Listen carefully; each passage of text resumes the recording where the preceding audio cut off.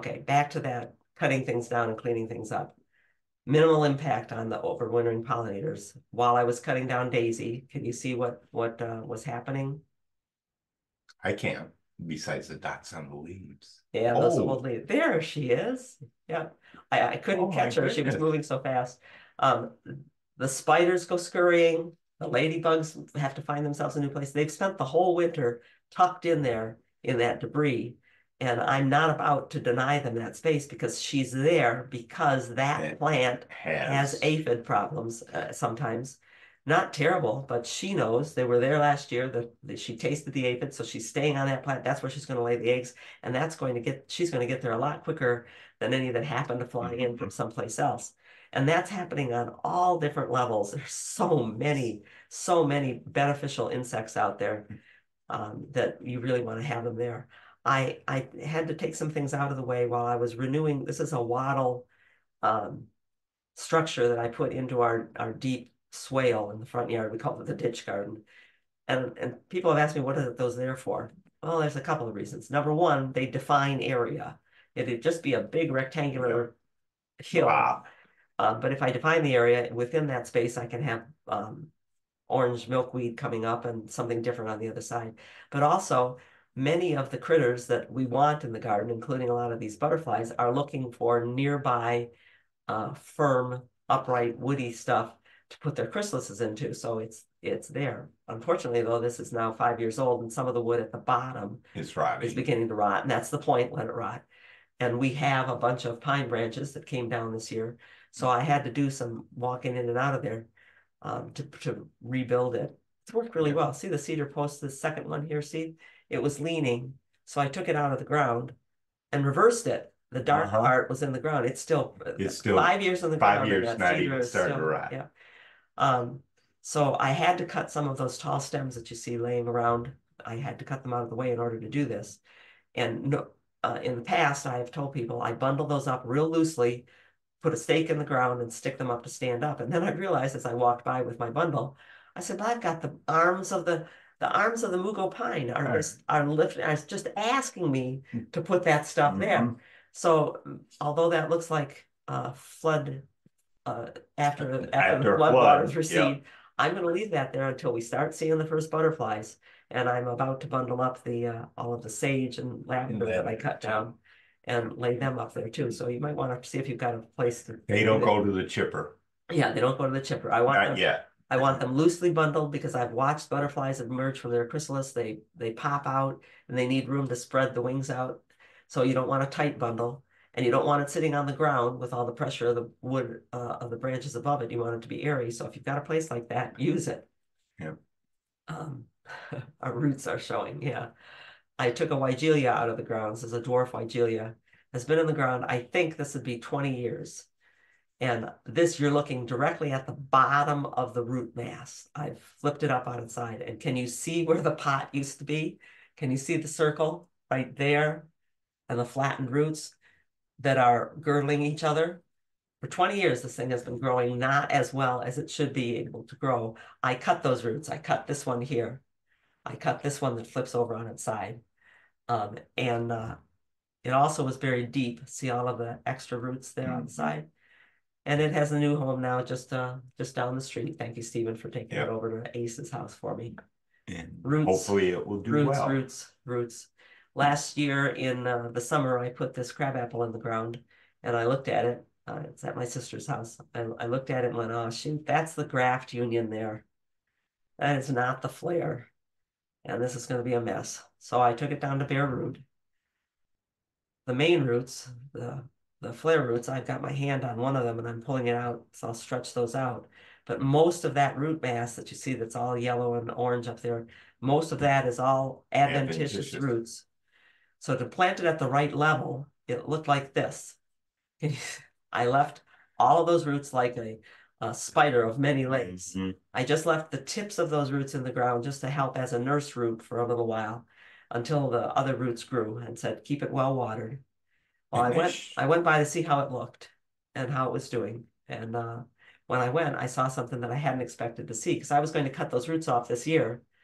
And I went, oh, well, John must have cut the roots off. And then I looked closer at them. Oh, and Oh, realized, no, Somebody ate ate them. them off of there. The deer, I put the, uh, it started out with a temporary shelter around it until I came back with enough rope to put my regular crisscrossed ropes to keep the deer from butting it.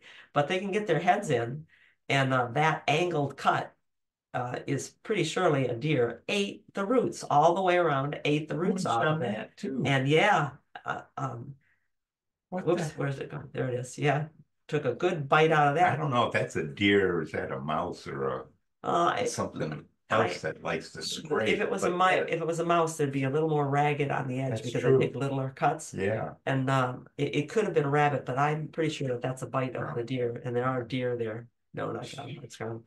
Anyway, roots, they're always on our minds. Hmm. Uh, well, we don't really need more plants, no, we don't. But this is one of the years when the butterfly bush, because it was such a Mhm. mild winter, not, did did not die all the way back. at all. If you don't cut your butterfly bush down, it's going to sprout from where you see the green at the base, but it's also going to sprout from higher up. So green at the base and also higher up. So this would be a year when if you let your your full-size butterfly bush grow without cutting it back, or you just cut the tips that are dead back, you're going to have a 10-foot shrub. And it'll be a 10-foot twiggy, bushy thing, which is not what we want. Yep. Um, but I was thinking about the, especially the low branches that are been laying on the ground and, and sheltered by the ones above. Mm. They're green right to the tip. I thought, well, that's a real shame because I'm gonna cut this back. I can't handle a ten foot plant in this place here. And Mary Ellen had just sent me pictures of her Brugmansia cuttings that she said she, they, they're sprouting roots.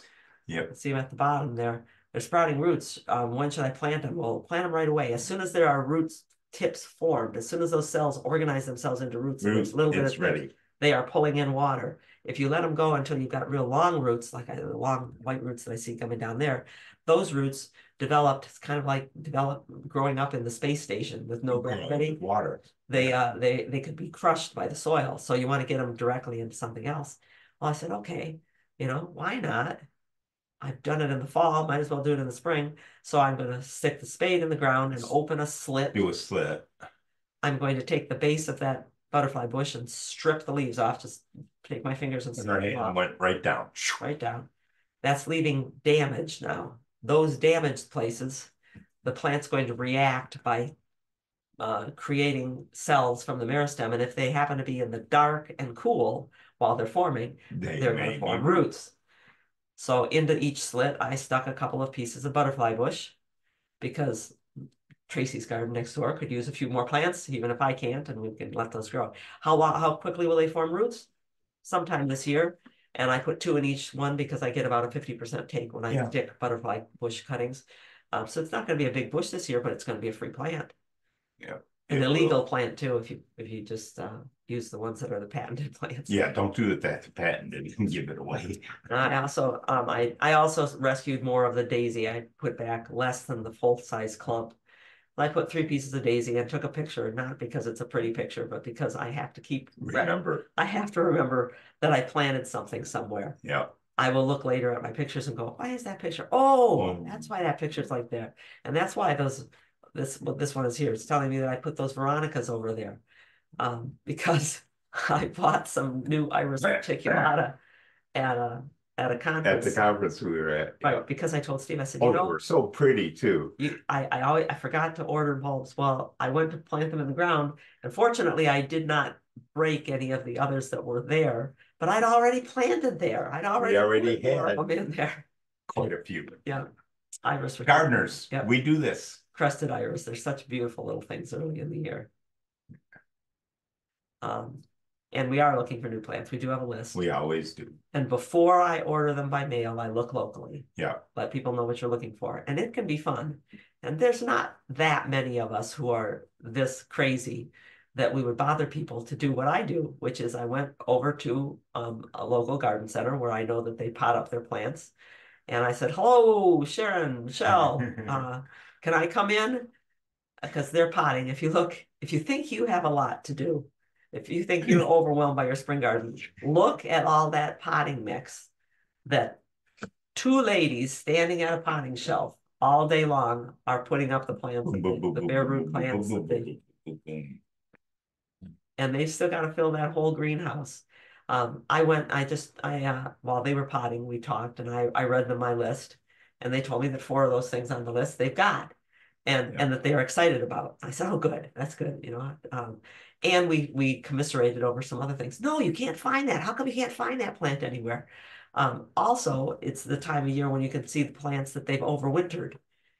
And you can say, oh, gonna be a good place to get buck, buckwheat this year. This is that, um. Canyon Creek buckwheat with the yellow flowers that the pollinators just love. But those are overwintered from last year. That's gonna be a heftier plant. Um, Yeah, so, you know, go and talk to people about what they're doing. And you can also then see somebody else's garden. They've got a garden outside that greenhouse. And I re- realized Puschkinia. Yeah, I. I just think Puschkinia is the sweetest early flower. Um, it does spread like squill though. You get you get more and more of them every year. So sometimes you want to admire them at somebody else's house.